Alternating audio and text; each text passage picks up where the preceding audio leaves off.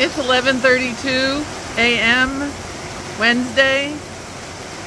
And what are we doing now that we're all ready for Milton? Well, our Wirehaired Vizsla thinks this is perfect weather for a game of fetch. So here we are. Justin's having a blast. Look at him go.